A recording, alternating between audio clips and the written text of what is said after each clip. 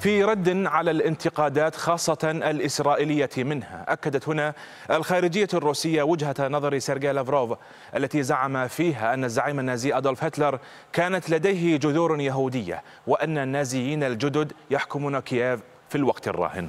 واعتبرت الخارجية الروسية أن كون الرئيس الأوكراني فولوديمير زيلينسكي من أصل يهودي لا يمنع أن يكون النازيون الجدد ممسكين بأوكرانيا مضيفة أن مناهضة السامية السامية في الحياة اليومية وفي السياسة لم تتوقف بل على العكس تجري تغذيتها في أوكرانيا. ورأت الوزارة أن تصريحات وزير الخارجية الإسرائيلي يائير لابيد متعارضة مع التاريخ بعد أن استنكر اتهام اليهود بأبشع الجرائم في التاريخ قائلا إنها ارتكبت ضدهم. إلى ذلك ندد زعماء عدة دول غربية بتصريحات لافروف متهمين روسيا بنسيان دروس الحرب العالمية الثانية.